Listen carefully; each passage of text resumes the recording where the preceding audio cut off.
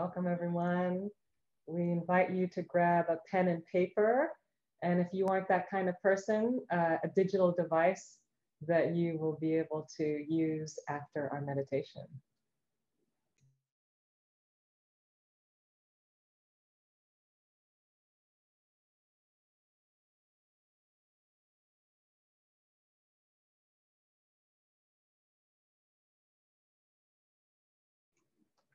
All right, Stacy, you want to do the introduction or shall I take it away? Mm-hmm. Uh, I'm, I want to say something about you, my Dharma sister. So, uh, welcome everybody. Welcome back to uh, our Truth and Justice Vigil. We've been holding this space uh, since the beginning of the uh, trial for Derek Chauvin and the murder of George Floyd. And our intention has been to uh, bear witness not only to what's arising in our own hearts, uh, how that moves and influences how we hold and engage with one another. And so I have been blessed to uh, be on retreats and be in many spaces with Dr. Anouk Shambrook, uh, uh, who's been practicing and teaching for 20 years. And after a very serious illness, um, reconsidered what this life is all about and uh, started beginning to look more closely at these intersections of trauma and social justice, race, and spirituality. And so I am so pleased that she raised her, she raised her hand. I asked her and she said yes. she accepted the invite. Uh, and so happy to have her here with us tonight to walk with us on this journey of uh, cultivating the courage that it takes to turn toward one another in this racialized world that we're in. And so, with that, Dr. Shambrook. Thank you. Thank you, Stacy, and thank you to each of you. Uh, my name is Anouk Shambrook. I go by the pronoun she, her. I'm in Ohlone territory, also known as Oakland, California. And uh, I uh, just want to give thanks to um, my uh, teachers in the Tibetan Buddhist lineage, uh, Vajrayana, Dzongsar Khyentse Rinpoche, Lama Drime Norbu, and Shakti Rinpoche. And I'd also um, like to give thanks to each of you. From what I understand, the turnout used to be uh, significantly larger before the verdict. And I really feel for you to be showing up, it indicates that uh, you realize that even though there was a very important victory, that the system itself hasn't been changed. And so I really admire your commitment to trying to help bring about that change. And as Stacy was saying, you know, cultivate the courage to turn towards one another. So just to give you uh, an overview of this evening, uh, of course, we'll start with refuge, establishing our motivation, then I'm going to give you a brief background on why it's important to listen to our body and how that's key to healing our individual and collective racial wounds. I'll lead you in a guided meditation. And after the meditation, you'll have a couple of minutes to write or draw um, kind of what arose for you in the meditation and what body sensations you noticed. So I was inviting folks to grab a pen and paper or if you prefer to be electronic, to have that option without disconnecting from the Zoom session. And we'll have a dyad and then we'll come back for group share and Q&A. And I am a meditation teacher, um, but today is not gonna be a traditional Dharma talk. Uh, I was speaking with Stacy about the intention behind this Truth and Justice Vigil and uh, I've adapted the session for what I believe people are gathered here for, um, orienting our voices and choices towards healing, courage, and freedom, and working to lessen the grip of habitual and historical tendencies, like not only of fear and hatred, but also of indifference and disillusionment. So we really we're excited to have people in it for the long haul. Uh, and with that, then uh, we'll go ahead and start by taking refuge. I take refuge in the Buddha, I take refuge in the Dharma. I take refuge in the Sangha. I take refuge in the Buddha. I take refuge in the Dharma. I take refuge in the Sangha. I take refuge in the Buddha. I take refuge in the Dharma. I take refuge in the Sangha. And in, uh, in my Buddhist lineage, we, uh, we always follow that by establishing our motivation. And the idea of relative and absolute compassion exists in many cultures around the world, including South Africa. And that music was uh, from South Africa. I hope it brought a little joy into the space. Joy is part of uh, what keeps us going. And um, there's a South African expression, Ubuntu, and it can be translated loosely as I am because we are. And so I invite you to feel into how we are all in, interconnected, all of us on this Zoom call. You can switch from speaker mode to gallery mode if you'd like to see everyone else. Um, and we're connected with other two-legged and four-legged creatures, as well as the, the winged and gilled, and even the earth itself the earth that sustains us. So feeling into that connection, I invite, invite you for a cycle of breath as you breathe in, to breathe in your intention to benefit all beings. And as you breathe out, to breathe out that offering.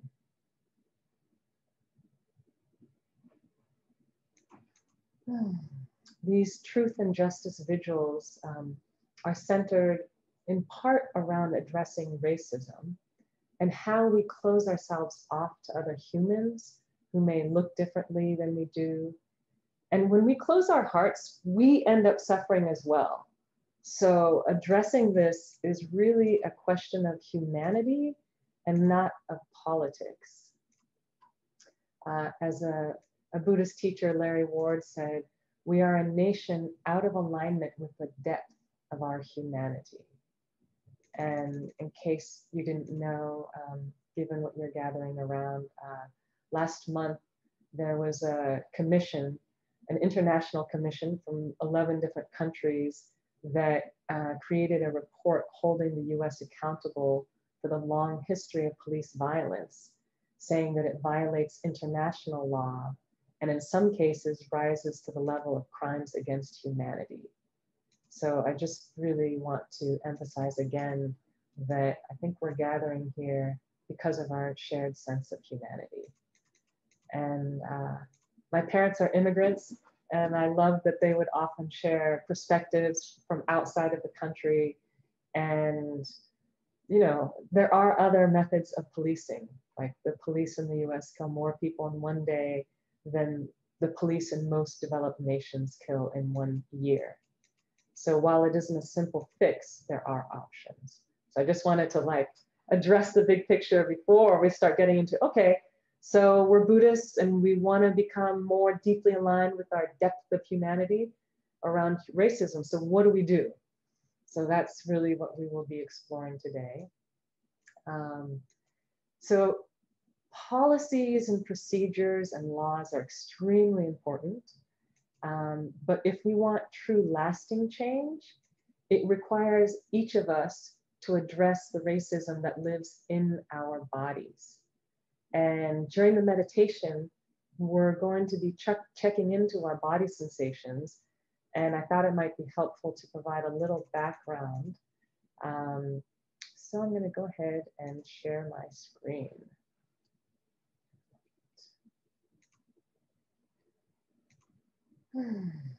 So maybe taking a deep breath as we transition into the technological world.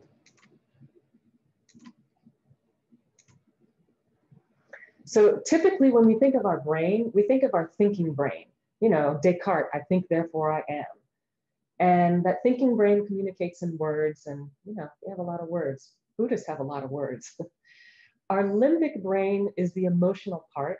It's the one that uh, assesses risk and it also is linked to our social engagement with others. And then the survival brain is instinctual. Uh, it carries out the fight, flight, freeze, appease. It's unconscious and it communicates through body sensations, not through words. So if we would like to have a sense of feeling settled instead of triggered every time just the topic of race comes up, then we need to learn how to bring about well being in our nervous system. And there are three typical doorways thinking, feeling, and sensing. And the sensing doorway is one that we often overlook, and that's uh, our body, body sensations. So racism lives in our bodies, and we don't normally think of it. We think of it as something out there, or maybe a prejudice in some habitual way of thinking. But literally, if we don't start taking into account the our body's knee-jerk reaction when the survival brain hijacks us, then we won't have sustained change because racism doesn't just live in our thinking brains, it lives and breathes in our bodies. And so uh, you might wonder after, you know, there's been a fair amount of money invested in uh, racial diversity, equity, and inclusion training. And again, most of it doesn't take into account this, this fact that when race comes up, often we don't feel safe. When we don't feel safe, our survival brain hijacks our thinking brain and we don't have access to our best self. And uh, Larry Ward speaks of compassion, one of our favorites in Buddhism, as an openness to our lived human experience down to our toes, an openness to deep change, an invitation to recover our right to empathy. It's creating enough space within to hold the light and shadow of America's racial karma without being destroyed by it because you are healing and releasing the traumatic memories in your body of ages of your ancestors' innocent suffering as well as your own. So, for some of us, uh, this idea that we have uh, trauma in our bodies might feel a little foreign, um, but we can literally have intergenerational trauma. They've shown that, um, you know, research with uh, like grandchildren of Holocaust survivors, as well as other research. And, and so if we're to move forward, then we need to learn how to, in a sense, deepen our capacity to handle the stress that comes up when the topic of race comes up. And uh, this this author of a book that many of you may be familiar with, um, Menakem, he refers to clean and dirty pain. And clean pain is the pain, it still hurts like hell. it isn't easy, but the thing is that with clean pain, we actually come out the other side. And it's literally experiencing the unpleasant and sometimes painful sensations when our body perceives a threat. And dirty pain is the pain of avoidance. It's the pain of blame and denial. And when we have the dirty pain, then we tend to act from the most wounded part of ourselves. And healing trauma involves recognizing, accepting, and moving through clean pain. So that's part of what we're going to experiment with today. And during the meditation, I will offer you invitations and I trust you to do what, what resonates. Um, so the, the great thing about us having meditation practice is we have practice of kind of developing this capacity of a witness, right? So a thought comes and we don't get carried away by it. Um, similarly, if we have a strong emotion, then we can kind of stay centered while the emotions pass through, kind of like clouds in the sky. And it's similar about our physical sensations. What's going to be a little different in this uh, meditation practice is after we resource, I'm going to invite you to listen to the body sensations so that you can become familiar with them and start to recognize them in other situations where you aren't in the safety of your home and listening to someone on Zoom that you can turn off at any moment. and to start developing the capacity to work with those body sensations. And, you know, at the beginning, Stacy was speaking to can we bear witness to the violence that happens? And can we have the courage to be fully present and have honest conversations with each other? So, learning how to settle our nervous system is an important piece and foundation for that. Um, after the meditation, we will have a couple of minutes to uh, to kind of reflect on uh, on what arose for you in the meditation, and I'd like to suggest that part of what we're doing, in a sense, is kind of like when you're on an airplane, and uh, and someone says, you know, put on your your own oxygen mask first before you help others and as Buddhists, we have this aspiration. You know, we want to we want to move towards freedom so that we can have collective freedom. And part of our practice is learning to do that for ourselves so that we can be a resource for others. And I'll be asking you to notice your body sensations. Um, they say that tracking sensations is like an internal GPS. You can't get lost if you know where you are. And so after the meditation, I'll have you kind of draw a little bit of your sensations. And then we're going, oh, okay, I see a smile. So this is an example where someone was saying, oh, I had butterflies in my stomach, you know, here, or I noticed my foot was tapping. Maybe I was a little nervous. Maybe I wanted to run. Um, you know, maybe my hand wanted to punch something. And or maybe I just felt like a pressure in my in my head. So those are just some examples. Uh, in the dyads, uh, I just want to establish this now so that right after the meditation, we don't have to deal with this. It's important to feel that we're for each other, uh, to stay engaged and present instead of checking out. Ideally, to talk straight, to resist saying what you think is expected, to experience discomfort and take care of yourself. Um, I imagine that someone has spoken about the difference between intent and impact. And so if it turns out that something that you said with good intent had a, a hurtful impact, then we can say, you know, oops and ouch, take accountability. Expect and accept non-closure. So, you know, years ago when you started meditating, you know, someone might have said, oh, all you do is sit and watch your mind. And it sounds simple, but it's a journey. Um, and, and racism has been around for quite a while. So this is just a, a first step in that process. And then perhaps most importantly is to maintain confidentiality. So if someone shares something, don't share it with others and don't bring it up with them afterwards because in another context, they may not feel comfortable talking about it.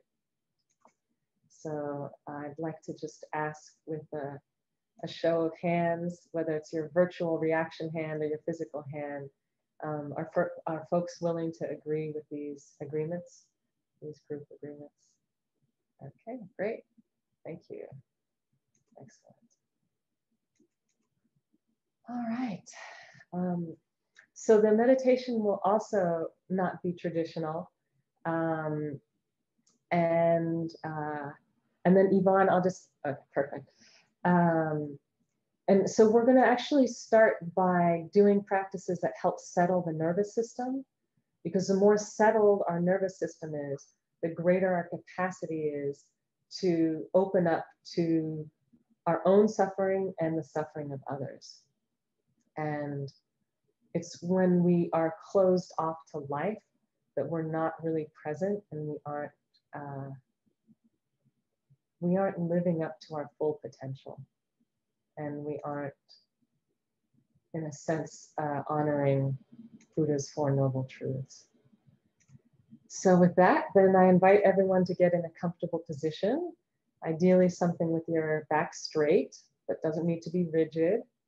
Um, if any of you need to lie down you can just as long as you don't think that's so conducive to falling asleep. I'll let you be the judge And we're gonna start by humming and rocking. I'll get my phone. We're just gonna do it for 60 seconds. And when we do it, uh, the vibration, the physical vibration actually helps settle our nervous system. So I'm going to invite you to hum out loud. Now, if I can do it here on Zoom with, you know, a number of strangers, I hope that you in the privacy of your home would feel comfortable doing it. Again, it is the, the vibration that makes a difference. So just starting to hum. And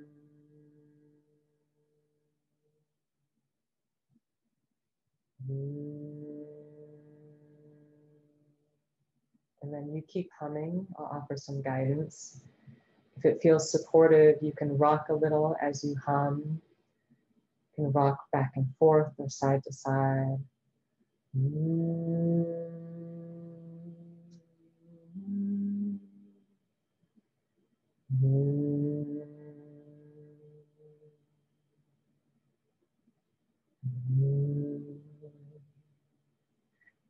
humming. I invite you to feel the vibration in your belly. See as you hum if you can feel it all the way down in your belly. Maybe even put your hand there. Mm-hmm.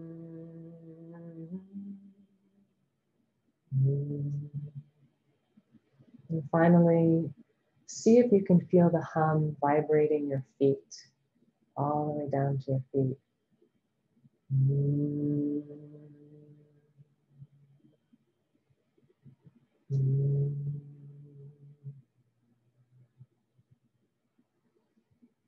Gradually letting the hum dissolve.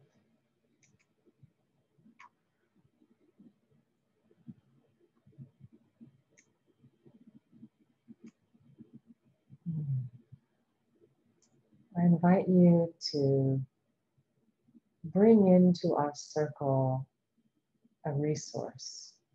It can be an ancestor, can be a spiritual teacher, a friend, a pet, a tree, a place in nature you find supportive. Just really call that into your heart mind and feel their presence in this moment. Could be a beautiful beach or mountain you've been to. What it looked like, sounded like, smelled like. Could be a grandparent or caretaker and the smell of their cooking. Or your pet looking up at you lovingly. So, really take a moment to soak in the presence of that resource.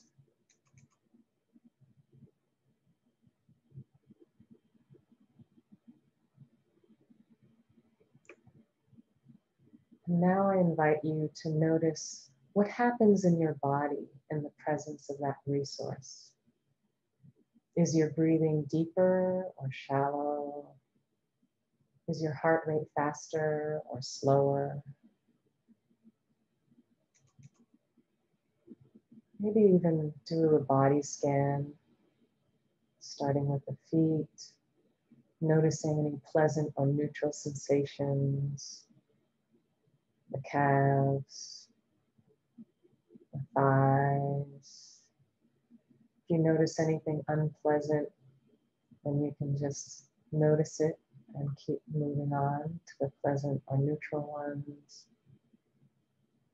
Scanning the pelvis, the lower back, the belly, the upper back, the chest, your hands, arms, shoulders, neck, and head.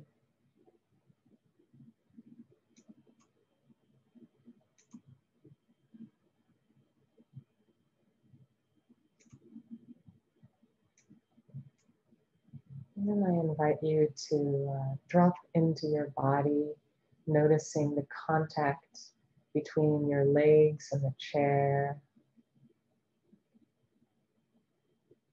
the contact between your feet and the earth. Can you feel your heart beating? Can you feel the weight of your clothes on your back? Can you feel the air moving in and out as you breathe?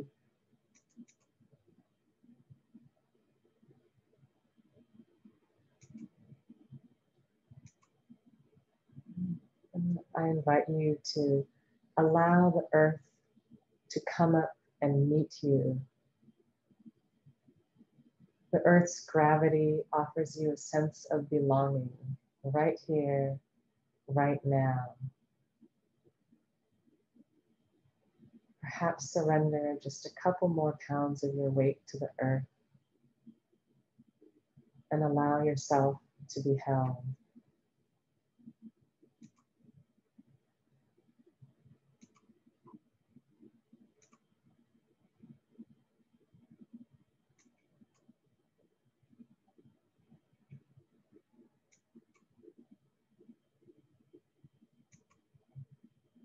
Now I invite you to bring your attention to your heart, to a sense of warmth and openness.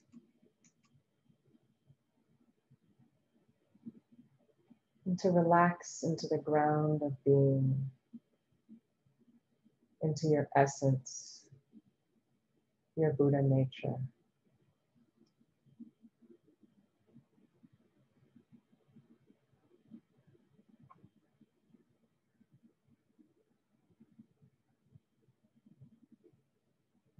Relax into your essence that can never be harmed, into your basic goodness.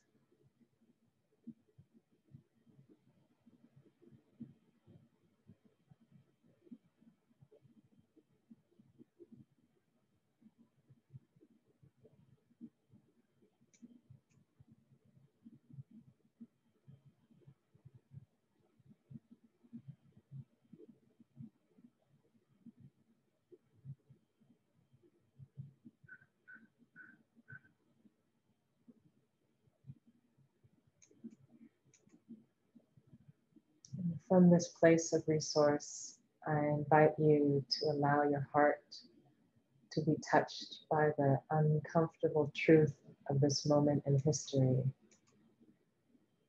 And notice what happens in your body when you open to the uncomfortable truth that this Chauvin verdict of guilty is not an end, but just a beginning. Notice what happens inside your body without any judgment.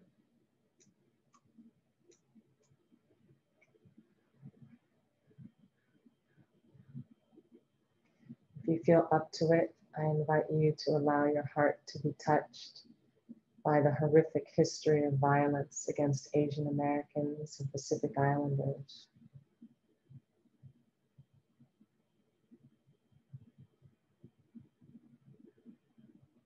To be touched by the genocide of indigenous people in this country. Notice what sensations arise in your body. Is there a contraction or expansion? Is there a pit in your stomach or is your belly relaxed? If you don't notice any sensations in your body, Notice if you start to unconsciously dissociate, to tune out of unpleasant bodily sensations and disappear into the thought world. There's no judgment, it's a survival mechanism. Feel into your capacity in this moment, staying connected to your resource, that person, place, pet, or spiritual teacher who helps you feel more centered, more resilient.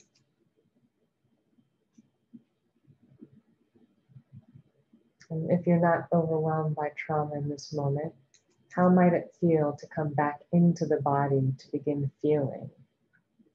To come back more fully to this present moment and what is arising in this moment.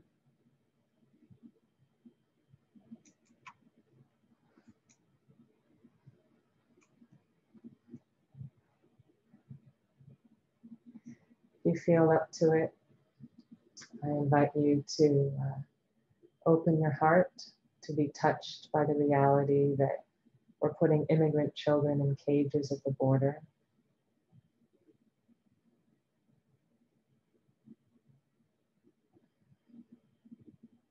To be touched by the violence against Black people, including by the police just 10 miles away from the trial of the murderer of George Floyd.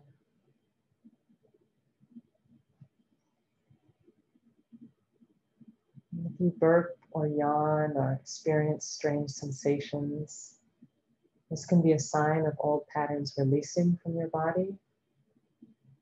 So the invitation is to see if you can allow them to move through. Just notice you bring up a specific example that we've been talking about of racialized violence. Are you going into a freeze state, like a deer in the headlights? Do you feel shame or wanting to shrink? Do you feel defensive or angry? Are your fists clenched? Is heat rising? Are you sweating? Are your muscles trembling? Are you feeling sadness? Do you feel heaviness in your chest? or body aches? Is there a lump in your throat or a sinking feeling in your stomach?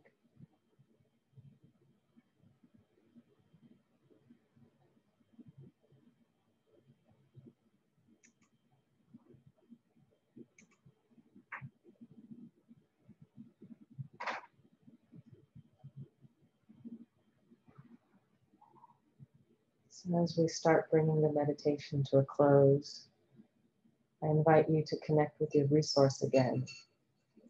To vividly call to mind the presence of that person, pet, maybe that beautiful place in nature that helps you feel connected to safety, maybe helps you feel more resilient.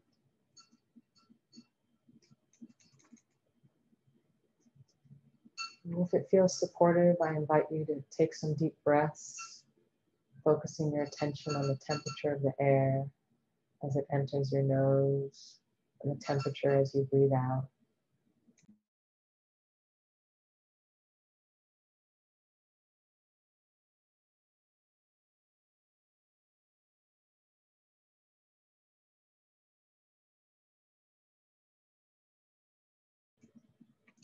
Before you open your eyes, I'm going to offer some guidance um, that when we do get to opening our eyes, I invite you to not look at Zoom on your electronic device.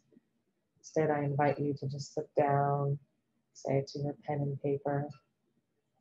And I invite you to imagine your eyes are like windows and to experiment with what it feels like to stay inside the windows of your eyes.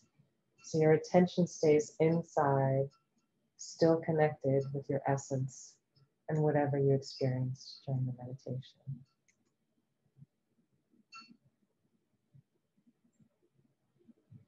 So when you're ready, you can gently open your eyes and maybe look down at your pen and paper. And I'm going to just have you reflect on what were the body sensations that you noticed when you were connecting with the resource, that person, pet, place, or thing. And then what were the body sensations when I brought up examples of our racist reality? And that the verdict of guilty for Chauvin is just the beginning, not the end.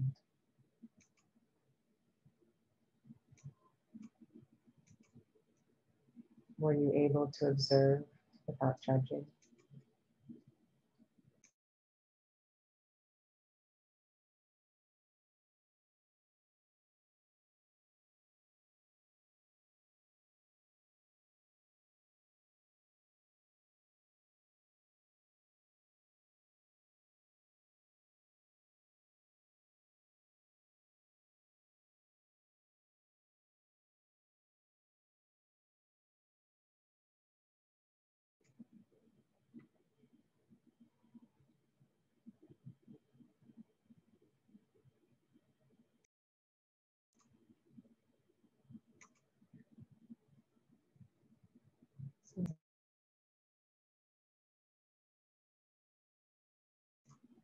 We'll give you one more minute and then we'll go into dyads.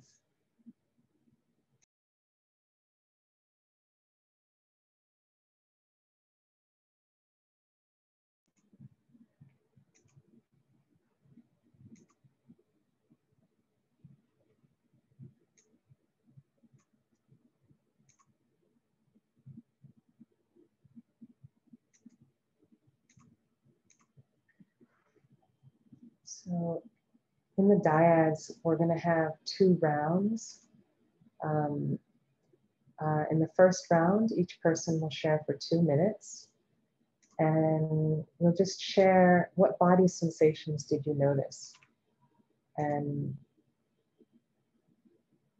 then uh, after you've each shared, in the second round, we'll be exploring what if listening to your body sensations and settling your nervous system were necessary to see humanity in each other, to lessen the grip of these habitual and historical racist tendencies. What would you do differently in your life? Like what concrete next steps might you take? So again, it's going to be two minutes each. And so the first cycle with two people sharing would be four minutes. And then the second cycle, same thing, two minutes each, a total of four minutes. And I'd just like to remind you of our confidentiality. And to simplify things, this time the person with the shortest hair will share first in the first cycle and then in the second cycle, the person with the longest hair will share first. Great. So with that, we'll open up the breakout rooms. All right. Welcome back, everyone. It's nice. I feel like after dyads, people are a little more lively because they've like engaged the material. So it's a pleasure to see you all. So then I'd like to maybe start by inviting folks to drop into the chat um, some of the sensations that you noticed in your body when we were resourcing. So whether it was like contraction, expansion, or breathing shallow or deep, or um, could be maybe some of the places where you typically hold tension, like your jaw, your shoulders kind of migrated down.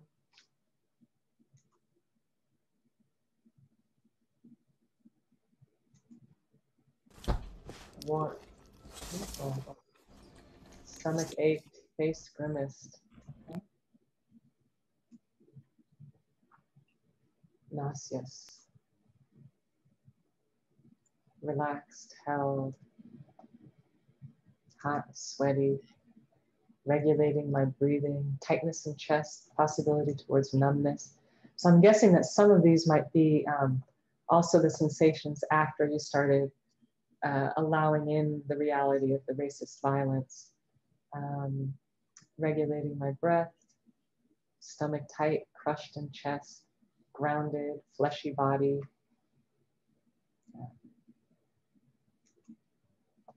Right. So, and then frightened. So if there's anyone who wanted to add the sensations you experienced when you allowed yourself to be touched by the current racist violence, first really settled, then heat, neck pain, twitching legs, very observant, spaciousness, heartbeat became stronger.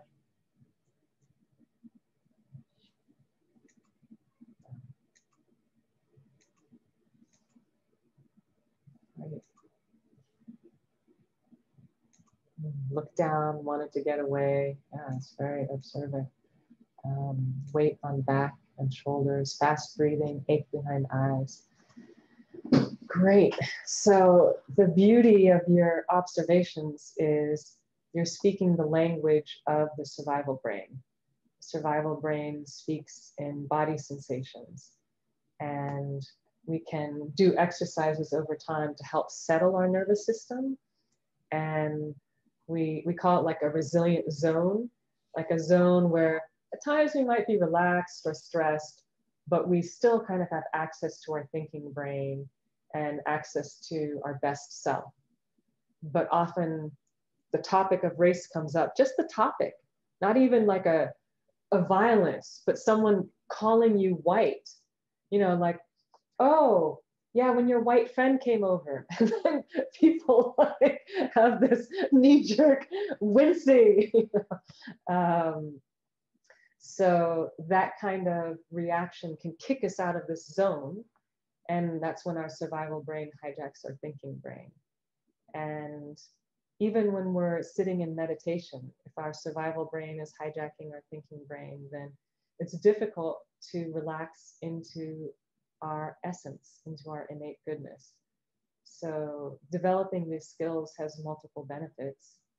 Um, then in regard to the, the second round of questions, uh, what would ha- what would it mean if learning to tune into the body and settle the nervous system were a, uh, a requirement for us to have sustained racial justice in this country, for us to be able to see the humanity in each other. And um, maybe I'll ask if there are a couple of volunteers who'd like to speak to that. Maybe you can raise your hand. Um, it, it sounds to me like part of what you've done is practice speaking up instead of being silent, do you notice any benefit? Like, do you notice that you're in alignment with your deeper core values? And then how does that affect your body? Uh, so we have a range of experience here. I'm glad that some are now inspired to engage it more deeply, and some of you are already doing so. I think what I'm going to do, um, because I didn't know that you had this uh, level of background, is I'm going to open it up to um, Stacy and Io if you have any challenging questions that you'd like some of us to engage in dyads um, or in triads or as a group. I know that uh, the two of you were the ones who had the initial vision for the Truth and Justice Vigil. And uh, I would like this, this session to kind of support the arc of that vision. And if you don't have any specifics, I'm happy to continue, but I just thought that I would uh, offer that opportunity if you, because you're the one, you know, Stacy especially, you live there and you know, you know, what's been happening at the center and what some of the patterns are. And I get the impression that, you know, there are folks who want to be pushing their growth edge. So now's a, a good, ripe moment. Well, I, I do want to acknowledge that not everyone here is uh, participating in Begin with Your Body, which Anne is has been a seven month long book study of Resmaa Menakem's book, uh, My Grandmother's Hand. Um, and so, uh, the, and that's the reference to the small group. So one week, a, a large group meets, which is almost 100 people. And then on the alternate weeks, there's smaller groups. And I would really encourage you, if you haven't picked up the book, to pick up the book. And if you know other bodies and beings who are interested in this exploration, that you don't need IO or myself or a group of teachers to lead you in it. What's actually remarkable about Resmaa's book is that he has uh, mindful body practices built into every single chapter. And as a matter of fact, Anouk used one, the humming and rocking is one of the practices that Resmaa offers to bring us back to the body. So that's that's the one thing, just to acknowledge that not everyone here is part of that conversation. Um, and then I think that there was a lot of richness in the, and I appreciate people's honest disclosure about the body sensations and thinking about um, the reality of, of our world. And so I, I think that, you know, we practice so that we break the habit of turning away, you know, turning off the television or not going to the protest or having ice cream, whatever it is, when that tension arises in the body, when the legs start shaking, when we're feeling anxious and tight, and what is the incentive to stay with that feeling, right? Versus turn away, to go find comfort. Um, and so I, I think it's important to like hear that from one another and name that.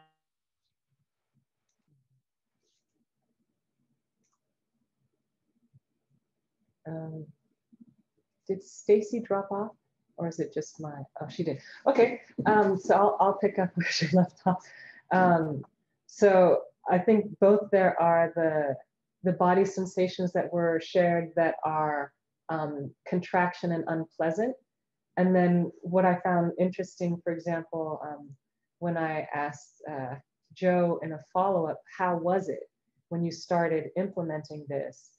And when he shared that initially, of course, was, um, I'm paraphrasing, but it could be intimidating um, that with time, when he had the courage to like open up and, and speak up, that it became energizing. And it's because when when we have that fear, when it's like, oh, you know those people they they're good people or they don't mean it or i don't want to make them uncomfortable or i feel uncomfortable i'm not sure what to do all of that contraction literally it stops the life force in our body and when we begin to open then there's literally space in our body for more of the life force to come through and when we make that space we can also be a lot more creative in our approach. It allows us to envision things that might not have even occurred to us. It allows us to make connections with other people, to create coalitions to bring about this change that we're looking for. As a, a person of color, it, it just feels like white people for so long have had the option of not tuning into the humanity of others, not tuning into the lived experiences of others. And in Buddhism, you know, we claim to want liberation for all sentient beings. We have that aspiration, but in practice, if we can't see each other as human and we have that kind of fear automatic response, um, then we're, we're turning a blind eye. And uh, so it is, it is refreshing that uh, a few more white folks are starting to wake up more to the lived experience and have the courage to stick with it. And I appreciated someone talking about something like stay the course or keep going.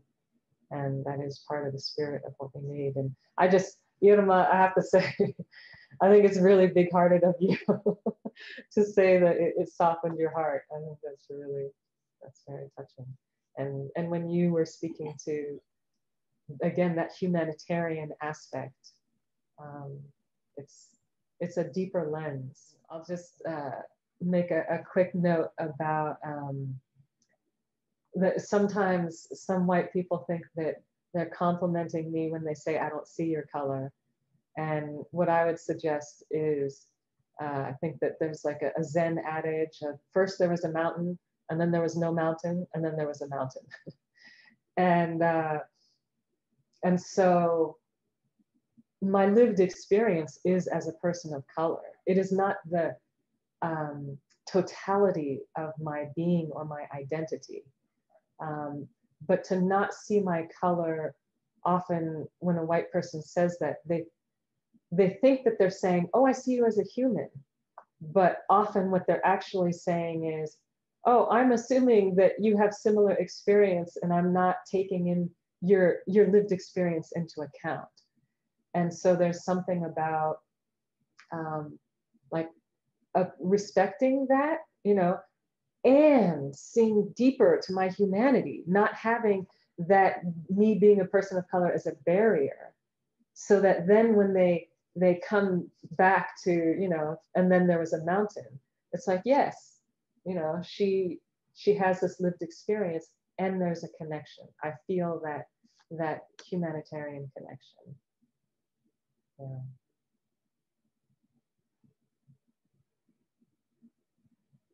And another thing that I think came up in one of the sharings was once you begin to speak up, you start realizing how often small comments are being made that are being condoned by no one speaking out, racist comments um, with no one speaking out against them. And so that's also, I think, for those of us on the spectrum of not having spoken up so much yet, it might be interesting for you to hear that and say, wow, I doubt that they're hanging around people who are all that different from you know, the white folks in my circle. So I wonder if I have, in a sense, not developed the attunement to it. And some of that might be from the unconscious desire to just stay safe or stay in a comfort zone because a lot of white people have that option that a lot of people of color don't have.